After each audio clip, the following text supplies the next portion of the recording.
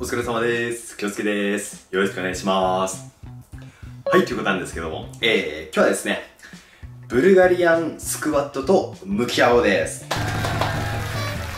はい、ということなんですけれども、あの、やっぱりですね、足トレでやっていると、あの、まあ、スクワットもそうなんですけれども、もう一つですね、えー逃れられない運命といいますか、逃れられない種目といいますか、ブルガリアンスクワットですね。これですね、もうみんな嫌いなんではないんでしょうか。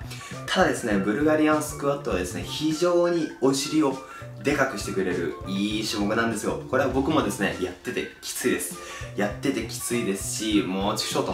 はい。発動しそうになってる、来る時もあるんですが、やっぱりですね、嫌いなものほど向き合うということが大切だと思うんですね。ということなんでね、あの、山崎京介が、えーお送りするですね、えーブルガリアンスクワットの解説動画ということでですね、えーここから先、まあ大体、まあ、1分2分ぐらいですかね。はい、流していくんでね。まあ、ちょっと解説付きで流していくんで、よかったらご覧になってください。それではどうぞ。